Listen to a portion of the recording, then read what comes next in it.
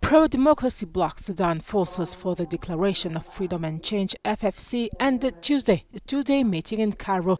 This was the FFC's first meeting since the outbreak of the war aimed at forming an initiative to end the conflict. Representatives called for guns to be silenced and said they did not object the possible entry of a regional force under certain conditions.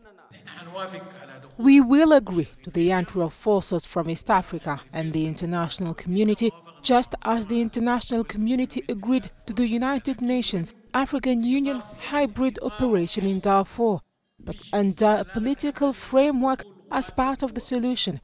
We are not talking about the entry of forces by force against the will of the Sudanese people.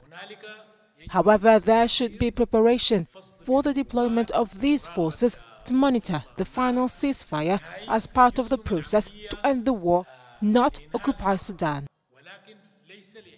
The conflict that pits Sudan's army general against RSF paramilitary commander has killed thousands. Horrors of the conflict include rapes and attacks on hospitals.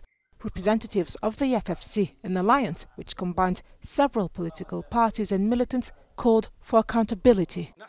We affirm that we deal with violations as a matter of human rights and ethics.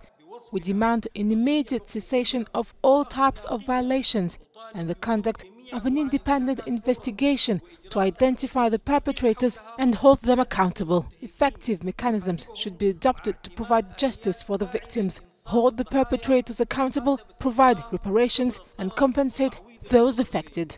The conflict derailed Sudanese hopes of restoring the country's transition to democracy, which had begun after the ouster of longtime ruler al-Bashir.